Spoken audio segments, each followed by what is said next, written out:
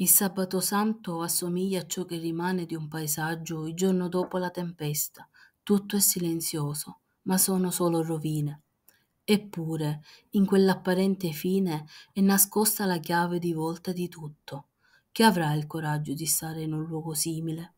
Il Vangelo ci dice che solo le donne rimangono accanto a Gesù, anche quando tutto sembra finito. I discepoli uomini sono fuggiti tutti, loro invece, le donne, hanno accompagnato Gesù passo passo fin dentro il sepolcro. Forse è proprio per questo che Gesù concede loro il privilegio di assistere per primi alla Pasqua. Ma oggi non è ancora Pasqua, oggi è silenzio, oggi è pazienza. Infatti le cose più importanti della vita sono figlie della pazienza, sono propiziate dalla fedeltà. È questa la lezione immensa di oggi, non avere fretta, sapere attendere, camminare anche quando tutto sembra perduto, sperare contro ogni speranza.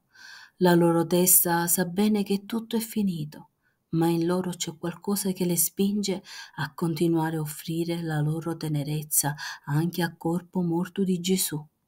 Bisogna fidarsi più del sesto senso del cuore che della disperazione esatta dei nostri ragionamenti.